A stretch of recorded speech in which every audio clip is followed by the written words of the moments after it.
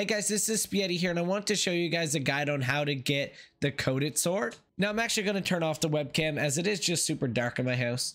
Now to start this guide, we're actually going to head all the way over to the west capital rampart. This is a natural story progression site of grace, but if you don't have the Altus Plateau unlocked, you pretty well just start from here, follow along this path till you reach right here, and then just follow along the path as natural story progression and you will reach the Altus Plateau. All right, so after you get to the West Capital Rampart, you're just gonna jump down right here. Make sure not to press forward too much or you will just totally fall and just die. Uh, you're just gonna jump down and then you're just going to go like south, north, south.